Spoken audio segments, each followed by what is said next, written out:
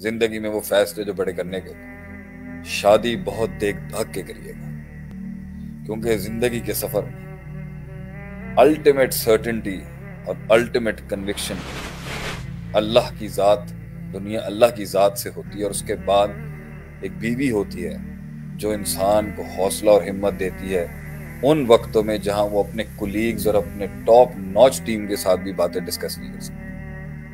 बेगम बहुत देख के लाए और विजनरी वाइफ लेके आए। बड़े फैसले ज़िंदगी किस को सीट देनी है और कौन अहल है इसका?